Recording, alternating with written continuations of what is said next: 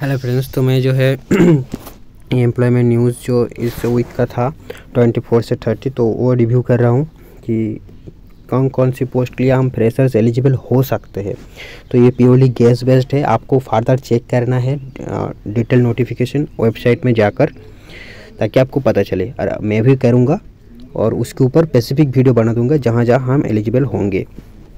तो ये तो एक हो गया कि National Institute of Disaster Management यहाँ पर देखो एडमिनिस्ट्रेटिव एडमिनिस्ट्रेटिव ऑफिसर बोल के एक है और असिस्टेंट प्रोफेसर बोल के जो है यहाँ पर शायद सिक्स पोस्ट है असिस्टेंट प्रोफेसर में फाइव पोस्ट है। तो ये जाके चेक कर सकते हो।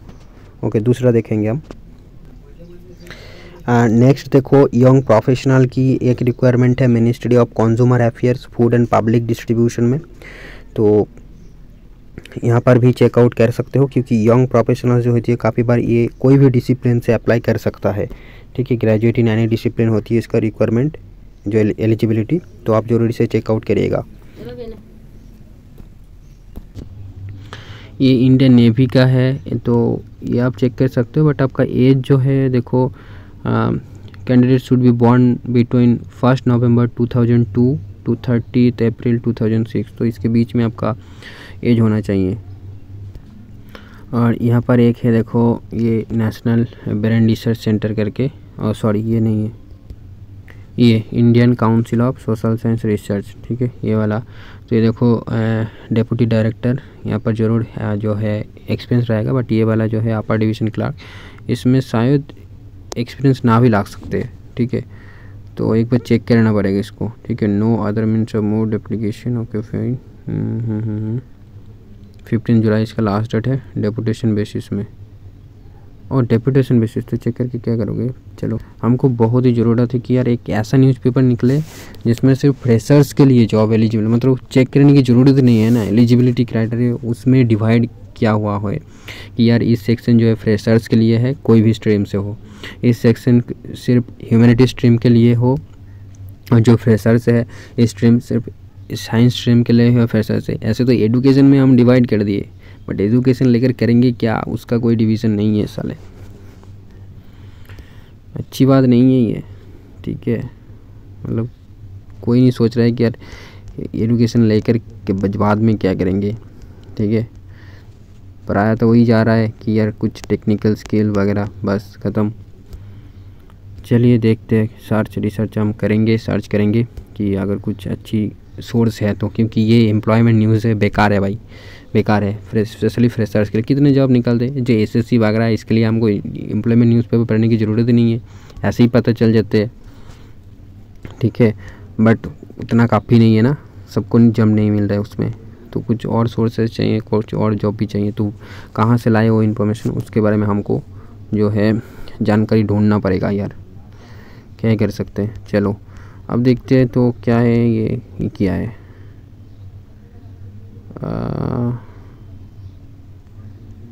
नहीं नहीं नहीं नहीं नहीं नहीं नहीं नहीं नहीं नहीं नहीं नहीं नहीं नहीं बी ए वाले कहाँ एलिजिबल होंगे वो हम मैं देख रहा हूँ ठीक है तो यहाँ पर एज भी फैक्ट मेरे को दिख रहा है कि यार जो इकोनॉमिक्स वाले हैं उनके लिए बहुत अच्छी फ़ायदा है मार्केट में ठीक है क्योंकि काफ़ी जगह है जहाँ पर देखो ये एम के साथ रिलेटेड हो गया इकोनॉमिक्स तो बहुत सारे जगह जो है इकोनॉमिक सब्जेक्ट के आप कुछ है मतलब मास्टर्स कर लिए हो तो आपका स्कोप बहुत ज़्यादा है तो इकोनॉमिक्स एक अच्छी सब्जेक्ट लग रहा है।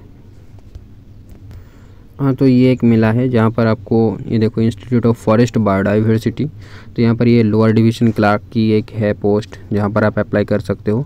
वैकेंसी सिर्फ़ वन है ओबीसी के लिए है। और ये देखो ट्वेल्थ पास आपका सर्टिफिकेट होना चाहिए और टाइपिंग स्पीड आपका होना चाहिए thirty five words okay per minute तो ये है, और दूसरा पोस्ट ये है कि मल्टीटास्किंग स्टाफ के लिए है, ये देखो. तो यहाँ पर भी जो है टोटल थ्री सीट्स है, और टोटल थ्री सीट्स है ओबीसी के लिए एक है एससी के लिए एक है, और अनडिजर्व के लिए एक है. तो इसेंशियल क्वालिफिकेशन टेंथ स्टैंडर्ड है. और यहाँ पर देखो एक्सपीरियंस चाहिए बट एक्सपीरियंस जो है डिज़ायरेबल है एसेंशियल नहीं है। तो आप अप्लाई कर सकते हो टेंथ पास हो तो। आपका age between eighteen and twenty seven होना चाहिए, ठीक है? मतलब 18 इसके बीच होना चाहिए। 18 से कम नहीं होना चाहिए ट्वेंटी सेवन से ज़्यादा नहीं होना चाहिए। तो इंस्टीट्यूट ऑफ़ फॉरेस्ट डाइवर्सिटी इस पर अप्लाई कर सकते हो और टेंथ पास भी इस पर अप्लाई कर सकते हैं। बाकी डिटेल्स के लिए आपको जाना पड़ेगा वेबसाइट पर।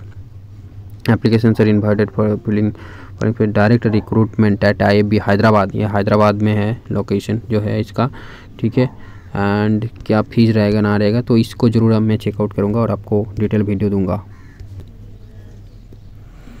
अब ये देखो, ये जो है, एक निकाला है डिवीज़न ऑफ़ एनवायरनमेंट साइंस तो यहाँ पर यंग प्रोफेशनल की रिक्वायरमेंट है, जो जहाँ पर सीट्स है, देखो सिक्स है तो इसको एक बार चेकआउट करना पड़ेगा। बट ये जो है ना, ये एम्प्लॉयमेंट न्यूज़ अच्छी नहीं है यार। यहाँ पर देखो, बेकार की इन्फॉर्मेशन देकर रखा है कि एप्लीकेशन की लास्ट डेट क्या है। भाई, इसको लेकर मैं क्या करूँ? आप एडुकेशनल क्वालिफिकेशन दे दे कि कौन एलिजिबल है, कौन नहीं है तो वो जाकर फर्दर चेकआउट करेंगे ना। अब इसको लेकर मैं क्या करूँगा? मैं नोट करके रखूँगा कि टेंथ जुलाई लास्ट डेट है तो मैं जाके नाइन्थ जुलाई करूँगा। ऐसी कोई तो मतलब नहीं है ना। मेरे को जब पता चल रहा है, तब मैं जब मतलब एट्थ है नाइन्थ है, या बाद में पता चल कोई भी है, मैं जाके चेकआउट करूँगा कि मेरे को पता चल जाएगा कि यार लास्ट डेट ख़त्म हो चुका है। यार आज पता चला तो अब मैं नोट कर लूँगा कि यार ये कर लेना है और कर दूँगा मैं। ठीक है? तो ये बात है। हालाँकि इम्पोर्टेंट डेट है डेट भी इम्पोर्टेंट है बट एडुकेशनल क्वालिफिकेशन दिया रहता तो अच्छा होती ना। मेरे को बेकार में टाइम वेस्ट करना पड़ेगा, फिर जाके चेक करना पड़ेगा।